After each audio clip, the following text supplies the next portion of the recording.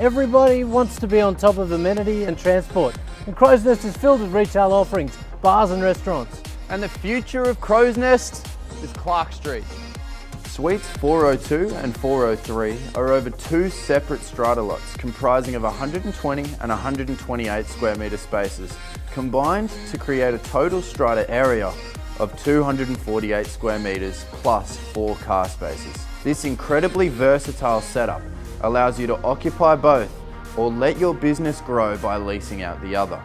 Located on the doorstep of the Willoughby Road Retail and Food Precinct and 6 kilometres north of the CBD, strategic owner-occupiers and savvy investors have the opportunity to secure a foothold in a building located right at the future Crow's Nest Metro Station, Australia's largest public transport infrastructure project, due for completion in 2024. Above the metro, new height limits will allow development from 9 to 21 stories. Urban renewal and development in Crow's Nest is a core focus of the New South Wales Government, especially next to station nodes. Now, take a look at where the nearest station node is.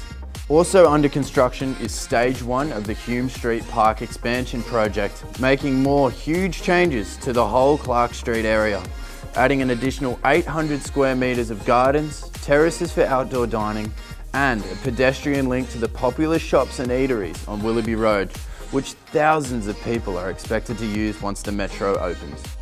The existing fit out includes two entrance meeting rooms, a boardroom, four internal offices, an open plan area, a server room, and two points of access into the common hallway. We're taking this property to auction. I'm Michael Weideman. And I'm Lachlan Worthington. Please give us a call if you'd like an inspection through this incredible opportunity or if you'd like any further information on Crow's Nest.